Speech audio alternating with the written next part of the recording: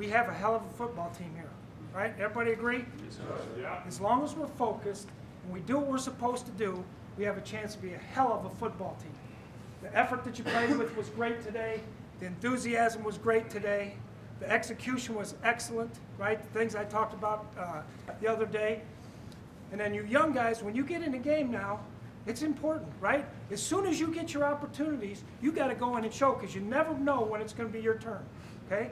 So we got to continue to go. Now we got a big one next week, right? On the road, the division champs we get to play. All right? Come here, Cookie. Both of them? Come on, get out. Hell yeah! Both of you two. Vikings on three. One, two, three. You got it.